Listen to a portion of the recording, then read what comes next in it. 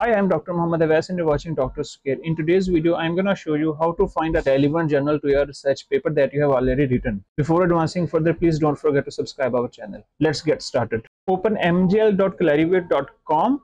I have given the link to this website in the description of this video as well. You can copy it and paste it in any web browser. When you visit this website and if you scroll down, you will see an option already have a manuscript. Hit match manuscript here you need to create an account first. Hit create free account. Give your email address password that you want to set. Re-enter your password first name then last name and then pass this verification process. Hit enter. An email will be sent to your email address. After clicking on the verification link that you will receive in the email your account will be activated and then you will be able to sign in here. Let me repeat this process.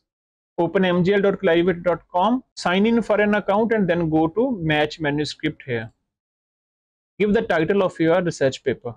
I have pasted the title of my manuscript. Now I have to paste the abstract as well. Make sure your abstract contains at least 100 words. After pasting your abstract, hit find journal. This website will suggest you some relevant journals that deems fit with your research article. Frontiers in psychology, computers in human behaviors, etc. etc. You can scroll down and find the relevant journal. You can check the details of a particular journal by going to the journal's view profile page link. Here you can further explore the details of that journal. It is very important to get recognized by publishing in well-reputed and relevant journals. I hope you find this video helpful. Please don't forget to subscribe to our channel.